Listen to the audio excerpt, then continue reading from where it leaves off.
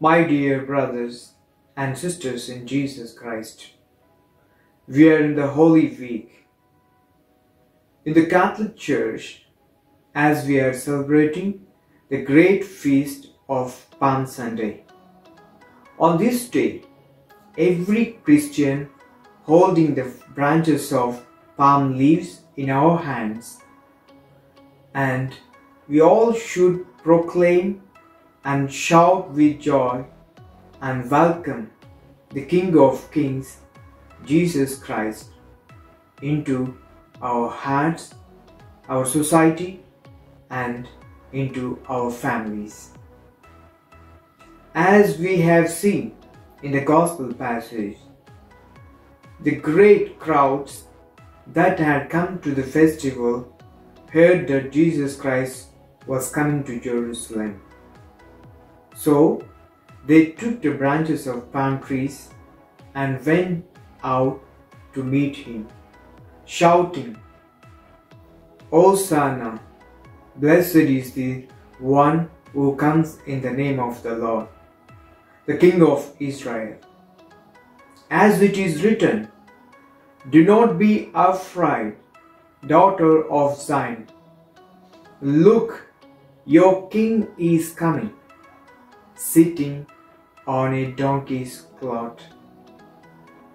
This is a great welcome for Jesus Christ from the city of Jerusalem and all the people who have come for the feast of the Passover.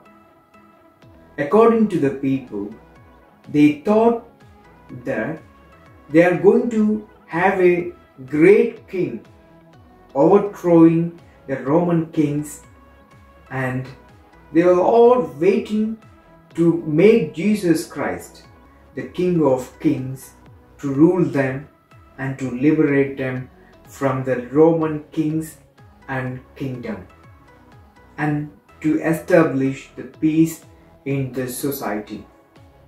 As we hear the Passion reading, we see the same people shouting, Crucify him, crucify him, because the people's expectations were not fulfilled and they all were disappointed.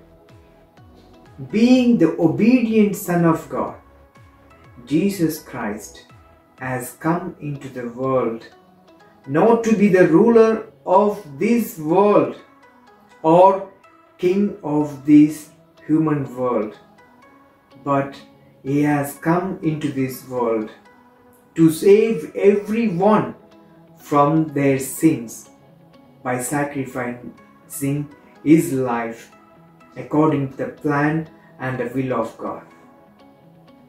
And the crosses that we see in our churches, Jesus Christ crucified by nailing and pierced at his side. When we look into the history, the cross is the terrible punishment given to the human beings for their grave sins and mistakes and it is considered as shameful and horrible to be crucified on a cross. But when Jesus Christ carried the cross and sacrificed his life on the cross as a ransom for all humanity for forever, the cross is no more considered as the shameful act or punishment given to the people for their sinful acts. But the cross is considered the symbol of our Christian faith and it is the pride of every Christian. And the cross is turned into a grace and blessing for all humanity. In the Passion reading, we have seen the Son of God standing in front of humanity and the King of human very humbly and being obedient to the judgment on him to carry the cross and walk to the place of crucifixion through the streets of Jerusalem. it is all to fulfill the prophecies and the will of God. The King of Kings, Jesus Christ, gave us the cross to carry it and come to Him. To live life according to the will of God. And those who believe in the cross will surely reach the heavenly Jerusalem and have salvation. Only through Jesus Christ on the cross. Once again, let us all proclaim and sing and say with joy, Hosanna, Blessed is he who comes in the name of the Lord. Blessed is the King of Israel. Amen.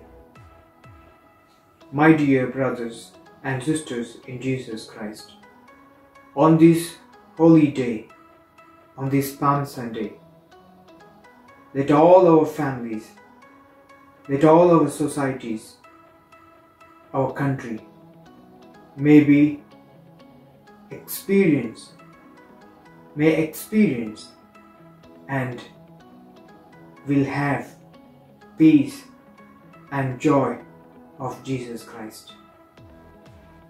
May Almighty God bless you. In the name of the Father, and of the Son, and of the Holy Spirit. Amen.